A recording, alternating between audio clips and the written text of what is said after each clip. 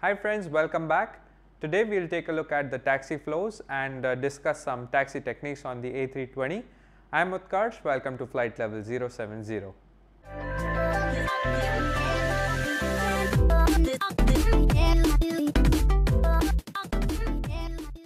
So the taxi that we know of commonly is not what I am going to talk about. Rather, maneuvering an aircraft on ground is what is called taxiing an aircraft. So we will take a look on the taxi flows and discuss some taxi techniques on the A320. I am rated on the Airbus A320 and I will be referring the FCOM and the FCTM to discuss the same topic. So let us go to the simulator and begin our session. Welcome to the simulator. After completing the after start flows and checklist, confirm the hand signals from the ground crew which ensures that they have moved away from the aircraft. We will look to the left, we will assume there is a ground crew giving us uh, thumbs and pins. Thereafter, the CM1 will check the left side and announce clear left side, CM2 will check the right side and announce clear right side. The pilot monitoring will obtain taxi clearance. Thereafter, both crew will cross check from the taxi charts and confirm. Pilot flying will set the lights for taxi, nose light to taxi. If it is night time or LVO, then runway turn off light on. Release the parking brake and check that the brake pressure goes to 0. Aircraft should move without thrust in case thrust is required, very little application is needed. Thereafter, we will perform the brake check for the same. The pilot flying will apply the brakes and the pilot monitoring will monitor the triple indicator for any indications of alternate braking. As of now, there is no indication, so we can assume that braking has reverted to normal braking. To taxi the aircraft, we use something called a tiller which is similar to a steering wheel. So, I will give you a demonstration. This is left application, this is right application. Show you from the outside. This is left tiller, this is right tiller. Deflection can be up to 75 degrees. During taxi, you can perform the flight control check. It will be much easier to perform the same check while the aircraft is stationary. So, we will set the parking brake on and we will perform the flight control check. First the pilot flying will do the flight control check. So, you will apply full back pressure. Pilot monitoring will check the deviation and call out full up whereas the pilot flying will look here for this small indicator moving all the way up. Then we will go full down.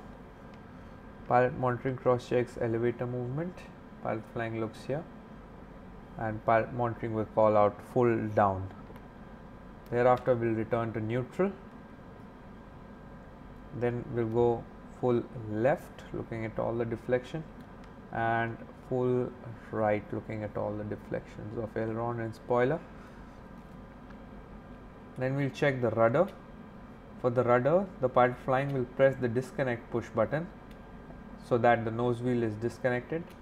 Thereafter, go full left, full right, neutral. We continue with our taxi. We will obtain ATC clearance if not done so by now. Based on the takeoff clearance, we will recompute the takeoff performance or change in any routing. Let us talk to ATC for a clearance. Flight level 070 is ready to copy departure clearance. Flight level 070, you are cleared to destination, flight plan route, departure runway 27. After departure, climb 1000, turn right heading 330. Initially climb level 60, squawk 2000. Thereafter, the pilot monitoring will read back the clearance we will recompute the takeoff performance as per the EFB if there is any changes. Check the flight plan, pre-select a speed if required from the MCDU. Cleared altitude set on the FCU. So, the pilot flying will set the altitude which was 6000. ATC heading if advised. So, we will set the heading to 330 as advised by ATC.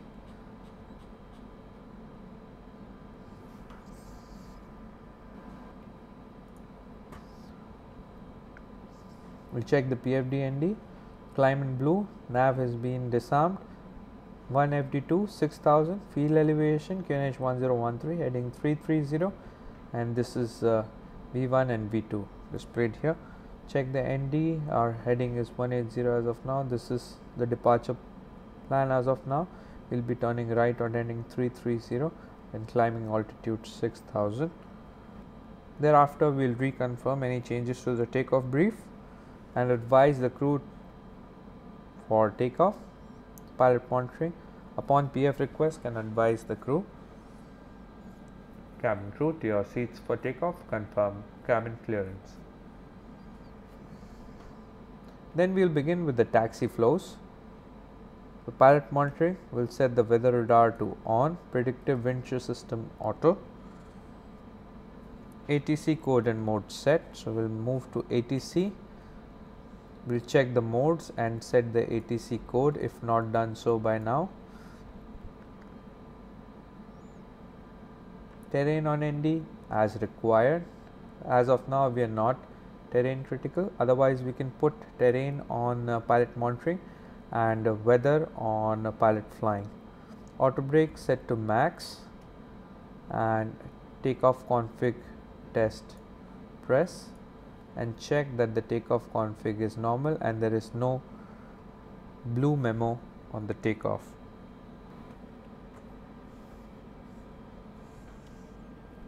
Now let us look at some taxi techniques.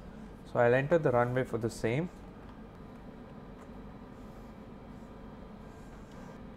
We can use the tiller to move the aircraft. So I'll be moving the tiller and show how the aircraft responds. If I put the tiller to go left, the aircraft starts moving to the left. If I tell it to go right, the aircraft starts going to the right. You have to be gentle while controlling the tiller as it is sensitive and it is an algebraic sum from both sides. Let us line up on the runway following the yellow line.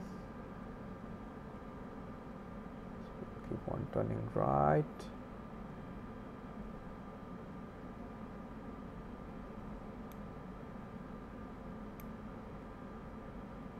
I will discuss how do we know that we are on the center line. So for that you need to check that the center line falls between the PFD and the ND.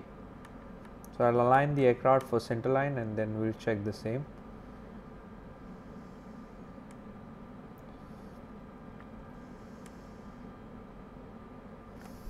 So if this is the runway center line, I'll put to so if this is the runway center line, I'll try to put this over the center line. Uh, should start looking at the far end, come all the way down and put this in line with the center line. Let's discuss a 180 turn on the runway. So if CM1 is carrying out the taxiing of the aircraft, then he will taxi on the right side of the center line. So we'll start moving right of the center line.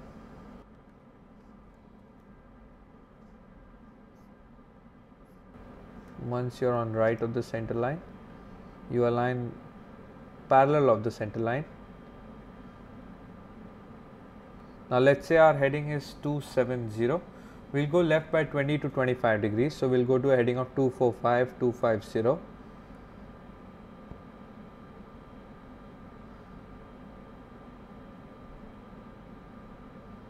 now the cm1 will go far off ensuring that he is over the edge of the runway.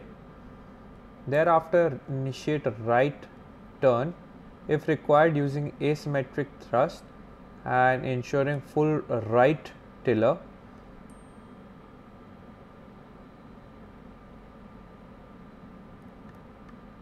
Thereafter as you start coming back towards the center line, start reducing the tiller angle and get the aircraft back onto the center line. If CM2 is carrying out the taxi, then it will just be a mirror image of the same procedure.